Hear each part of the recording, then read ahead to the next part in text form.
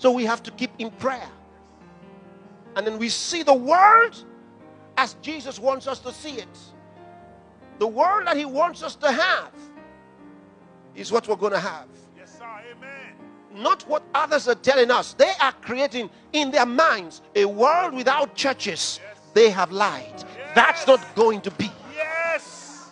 Glory. Amen. It's not going to be a world without churches. Not No way. No way. while we're still here. No way. We're here until the rapture of the church. After the church is cut up, they can do what they want until we come back with Jesus. Find out more on how to prepare for the rapture. Visit www.pcdl.tv.